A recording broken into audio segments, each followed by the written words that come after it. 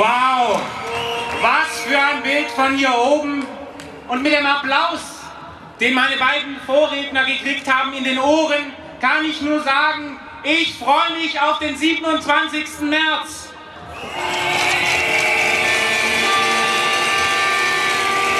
Liebe,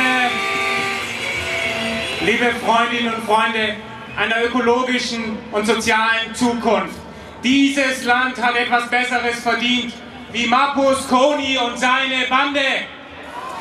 Und ich meine das, ich meine das gar nicht lustig. Man muss sich doch nur mal überlegen, was in 57 Jahren CDU in diesem Lande zusammengewachsen ist, was in einer Demokratie nicht zusammengehört. Und deswegen passend zu unserem Motto, es wird Zeit, dass wir diesen Laden und dieses Land ausmisten.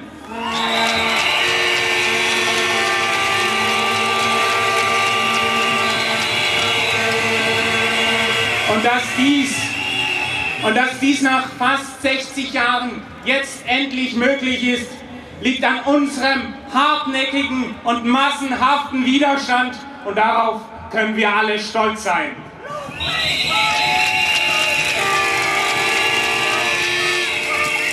Mir fällt auf, je näher und je weniger Tage Mapus und Co. bleiben, desto öfter reden sie von Zukunft. Wir wissen, dass es ihnen im Ende nur um ihre eigene Zukunft geht. Und wir fragen uns auch, was soll das tatsächlich für ein Fortschritt sein, den sie da ständig behaupten? Was ist das für ein Fortschritt, wenn man mit Milliardenaufwand den pünktlichsten Bahnhof Deutschland zerstört und einen neuen baut, der unkomfortabler, unsicherer und weniger störungsfrei sein wird wie der heutige und nach zehn Jahren Baustelle dann vielleicht gerade mal zwei Züge mehr hinkriegt. Liebe Freundinnen und Freunde, was soll das für ein Fortschritt sein, wenn für wenige Menschen vielleicht ein bisschen schneller von Ulm nach Stuttgart kommen, aber dann dafür Milliarden für den Ausbau im ganzen Land in der Fläche für den Schienenverkehr fehlen?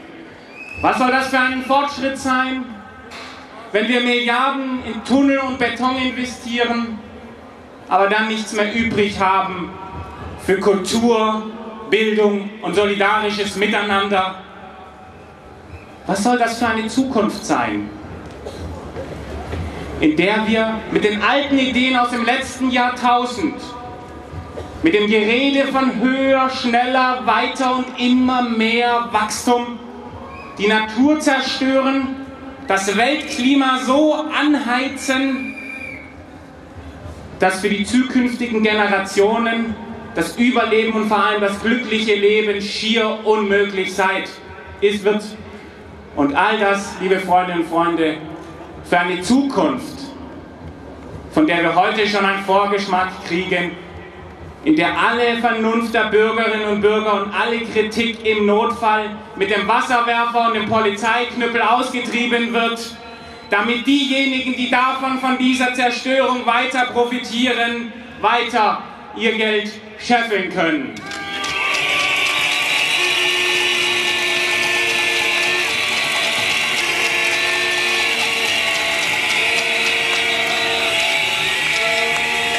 Gegen so eine Politik, gegen so eine Politik, die die Bürgerinnen und Bürger bei jeder Möglichkeit der demokratischen Mitgestaltung beraubt, ist Widerstand nicht nur legitim, sondern notwendig. Und wenn die den Bau- und Vergabestopp nicht selber machen, dann müssen wir zumindest den Baustopp selber machen. Und deswegen, liebe Freundinnen und Freunde, will ich auch nochmal einen Dank sagen an all diejenigen, die auch im Notfall in ihrem friedlichen zivilen Ungehorsam die Konsequenz auf sich nehmen, dass der Rechtsstaat um sich knüppelt oder sie bestraft. Und ich war begeistert.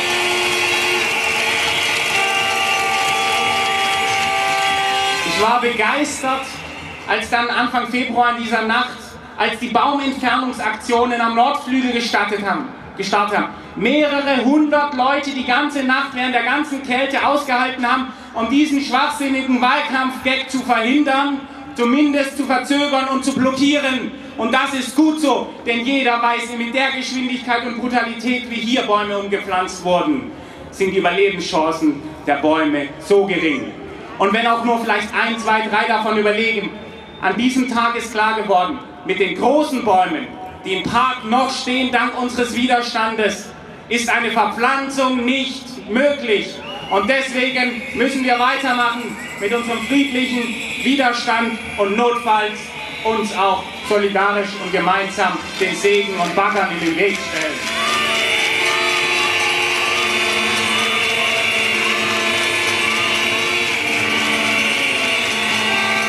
Das letzte Jahr, das letzte Jahr hat uns gezeigt, dass es nicht reicht, alle vier Jahre das Kreuzchen zu machen und dann das Maul zu halten. Demokratie lernt man nicht allein an der Wahlurne, sondern nur, wenn man sie selber, wie wir es hier machen in Stuttgart und damit das ganze Land begeistern, wenn man sie selber mit in die Hand nimmt. Und deswegen, wählen ist wichtig und notwendig, aber wählen ist nicht genug auch wenn Frau Merkel das so will und die Wahl zum Volksentscheid erklärt. Wir wollen eine direkte, demokratische Entscheidung über den Milliardenschwachsinn Stuttgart 21 hier in Stuttgart und in der Region und über die Neubaustrecke im ganzen Land.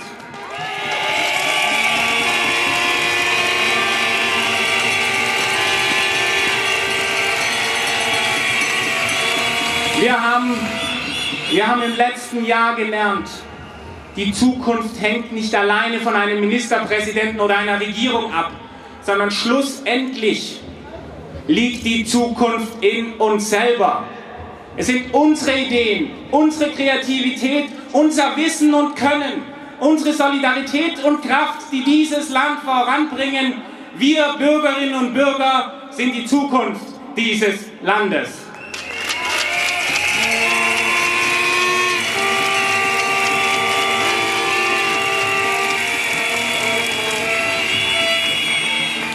Lasst uns aber diese Wahl nützen, dieses Wissen und diesen Geist ins ganze Land hinauszutragen.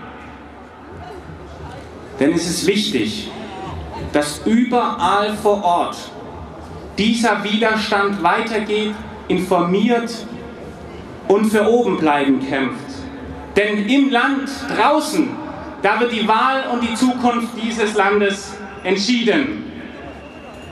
Deswegen helfen Sie alle mit, vor Ort sich zu vernetzen, sich zu informieren und vielleicht melden Sie sich auch nochmal bei parkschützer.de an, vernetzen sich mit den Wahlkreisen dort, nehmen heute richtig viel Material mit, zumindest um alle Nachbarn, Freunde und Bekannte davon zu überzeugen, dass unser Widerstand richtig ist, dass wir im Recht sind und dass K21 die bessere und sinnvollere Alternative für die Zukunft ist.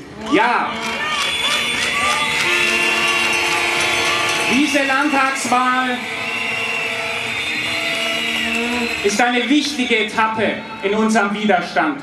Aber wir hier haben begriffen, dass wir Bürgerinnen und Bürger der Souverän in diesem Land sind. Und dann sind wir auch so selbstbewusst zu sagen, es ist schließlich endlich egal, wer unter uns regiert. Und vor uns liegt noch ein heißer Herbst, ein noch heißerer Sommer. Und wir machen unseren Widerstand so lange weiter, bis der Schwachsinn Stuttgart 21 endlich vom Tisch ist. Und wir machen die Bahn frei. Für den Bahnhof mit Vernunft und für ein Land mit Zukunft. Es ist unsere Zukunft. Oben bleiben.